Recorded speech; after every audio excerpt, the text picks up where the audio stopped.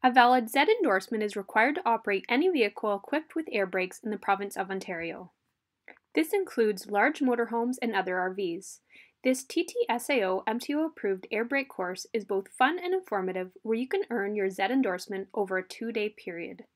On day one, we use our in class air brake board and learning tools as well as practical training at the truck.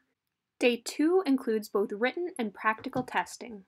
The prerequisite for this air brake course is a minimum full G license. Due to the course's popularity, it's held once a month at Northern Academy of Transportation Training.